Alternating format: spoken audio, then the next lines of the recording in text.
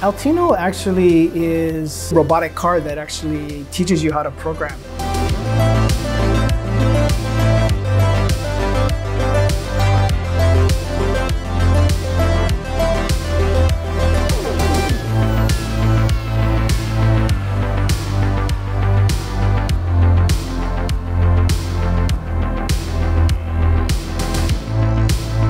It's super fun to learn how to program uh, to the point, and it's a very sophisticated car where you literally can program the car to autonomously drive itself. And that to me was really exciting because like, wow, students today could learn how to program a car to drive itself, even though those are those cars are not here yet, but they're coming.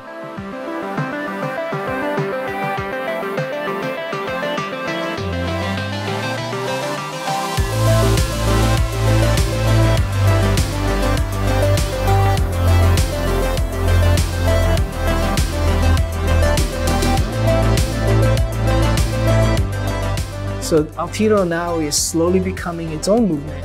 But eventually that movement is really not an Altino movement. It's a computer science movement. It is a creative problem solving movement enabled by computer science.